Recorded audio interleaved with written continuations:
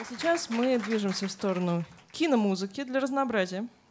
Вот, и, наверное, э, вот все помнят такого персонажа, его играло очень много актеров, а персонаж оставался все тем же изысканным, элегантным, э, импозантным и э, незамеченным шпионом. Он, наверное, э, да, так бы и остался незамеченным, если бы не Ян Флеминг, который о нем, собственно, придумал фильмы. Агент 007, Джеймс Бонд.